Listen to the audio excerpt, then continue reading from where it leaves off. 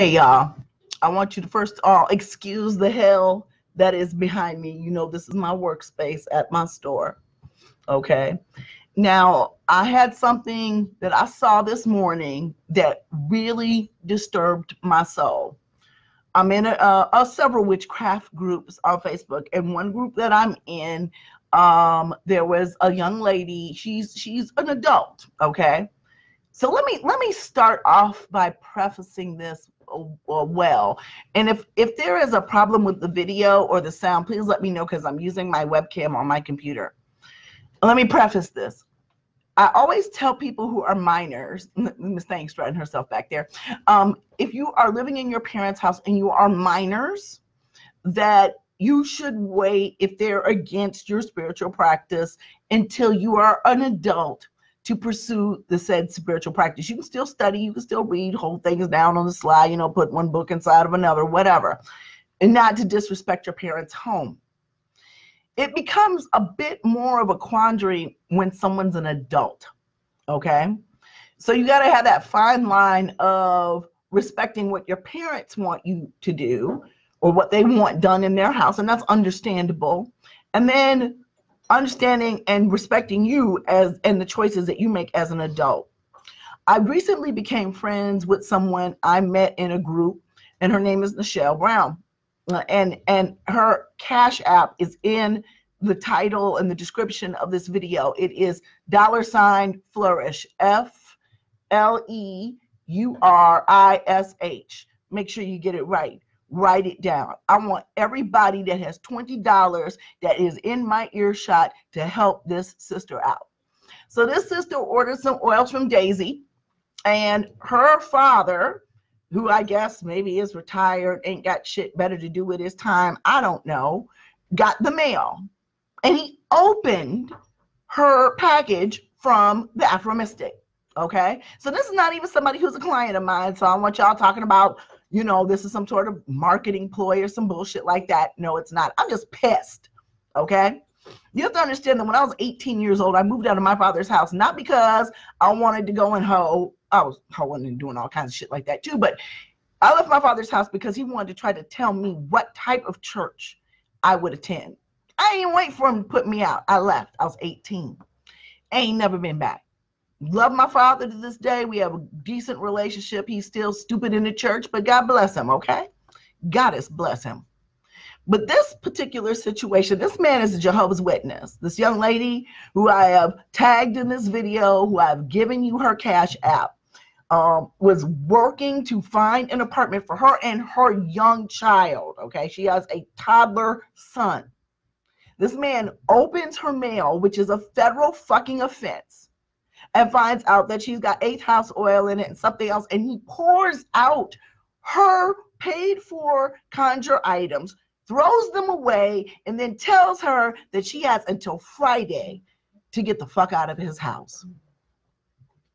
Now, y'all know I have come on here about three, four, five, six, I don't know, 50 million, 11, I don't know, times asking for you to give to somebody who's in need. The apartment that she's looking at is $750 a month. She needs her security deposit. She needs her first month rent, so that's 1,500. And then she's going to probably need another $500 for a moving truck and getting people to help her. I want to raise $2,000 for her. That means at 200 of us, present company included, send this sister some money so she can get the fuck out of her father's house. And it's really, really irritating and sad because there's a grandchild involved. This person has violated her privacy, disrespected her, and now is at the risk of not even seeing his grandson again because I, as a parent, I don't want my kid around that negative energy. It has nothing to do with whether somebody's a Jehovah's Witness or whether they're a Christian or any of that. But grown is grown, you know. And if anybody want to criticize somebody for their spiritual beliefs, who ain't paying your bills, tell them to kiss your ass. All you grown people out here, all you motherfuckers in the broom closet, okay? If you grown and you know that you couldn't go to any of those people with shit to say for $20 if you needed it, fuck them. All of us need to learn how to live our life on our own terms. And the younger we are when we do it, the better. This is not saying disrespect your parents and, you know, they all think we worship the devil um, in their house. If you're a minor and you're not paying your way, you know, that's one thing. And then, like I say, I always give good advice to young people who want to study magic. Study. You got your whole life to practice read, study. The internet's an amazing thing. You don't have to disrespect your parents' house. But the shit that he pulled because these oils were not going on some altar she set up in his house, those oils were going to be on her person, in her bag. He opened her mail, poured out her shit, and told her to get the fuck out. And I have had an attitude about this all day long because it makes me mad. You know, one of the things that I found, especially with young people, especially with teenagers, I was just talking to a friend about that the other day, is if it's not some shit that's really going to put their life in danger, we really as adults don't have any right to try to tell them, no, don't do that. Because the minute you tell a teenager, no, don't do that, guess what the fuck they're going to do? They're going to do it. So in my house, my kids have had very little no. My thing is, are you safe? Where are you going? What time are you going to be home? Will I be able to get a hold of you if I need to? Will you be able to get a hold of me if you need to? Uh, if you're going to drink, drink before you go out. Don't take no drinks. Don't take no weed. Don't take nothing from nobody. I don't care how much you trust them because I don't want you roofied out and dead in a fucking freezer somewhere. The only thing I care about is that my kids' well being is safe. I would, you know, in my house, we don't have rules about religion. Uh, you know, my children came to this practice all on their own. They saw what it did for me. They saw what it did for my life. They saw how much joy I get from it and what a better fucking person I am because of it. Okay? I wasn't the person I am today when I was a Christian. I'm sorry. I was judgmental. I had a lot of own, my own personal issues that I had to work through. But now that I've made a spiritual change in my life, my daughters have seen how it benefits them and they make the changes according to their comfort level. By the way, the child listed her Florida water uh, body butter today. She's working on her formulation. Oh my God, where's the bottles? The bottles are here somewhere. Shameless plug, shameless plug. I don't know where the bottles are. Oh, this is going to be the bottles for the child's astrological oils, and it looks like nail polish, but it's not. So these are going to be the bottles for her half ounce oils. Aren't they cute?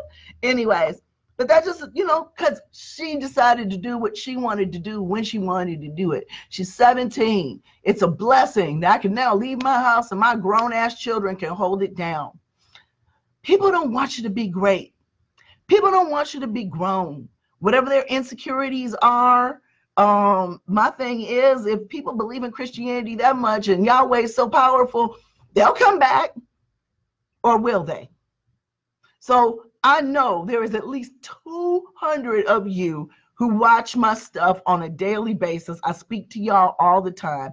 Um, her Cash App, dollar sign fleurish. It's spelled kind of special. It's in the comments. It's, um, well, it's in the title. It's going to be in the um the comments about the video if you've got, uh, I don't give a damn if it's $5.